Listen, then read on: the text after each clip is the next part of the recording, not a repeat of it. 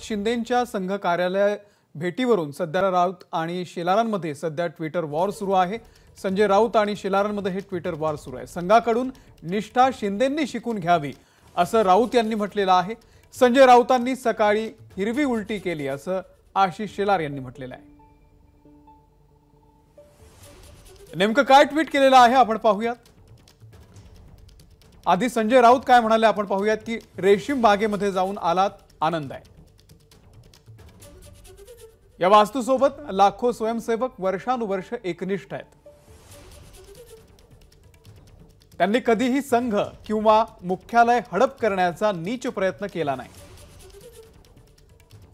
राष्ट्रीय स्वयंसेवक संघाकडून संघटनेच्या प्रती निष्ठा काय असते?